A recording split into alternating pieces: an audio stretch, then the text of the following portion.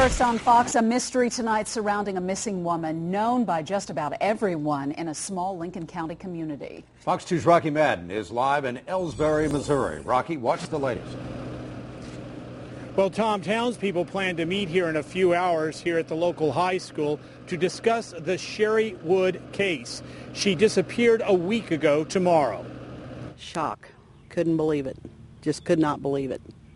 She's always a local person that you see everywhere and just couldn't believe it. It seems everyone in Elsberry is an acquaintance, if not a friend of Sherry Wood. Over the years, the 51-year-old worked at a number of places, including this restaurant, where people grow worried with each passing minute. I hate to see anything bad happen to her, but uh, it's, it's not looking promising. She's been gone since last Thursday night, Friday morning, so it's not looking good. Wood quit work at this convenience store Wednesday night. She disappeared two days later. Her car is still parked in her driveway, but neighbors say what are believed to be Sherry's shoes were found miles away on the banks of the Mississippi with marks in the mud that looked like a person may have crawled in the water and never came out.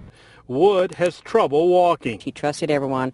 She found no wrong in no one, and she found she thought everybody was good. People wonder if Sherry's childlike trust may have caused someone to take advantage of her.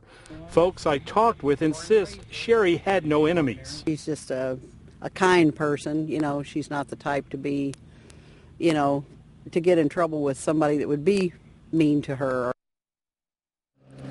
Now, I'm told that Sherry's father died a few years ago. Her mother passed away in the past several months. So was she despondent? Did she harm herself? Well, friends tell me that she was full of life, very happy, up until she disappeared. In Elsberry, Rocky Madden, Fox 2 News.